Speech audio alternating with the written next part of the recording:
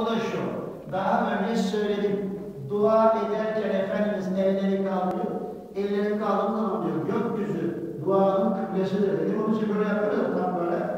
Elinizi diyor kaldır duayı yüze sürmeden indirmeyin. Şayet el kaldırmadan dua ediyorsanız bakın dua olur. Şöyle yapın mesela genel hocam Fatiha'yı okuyor.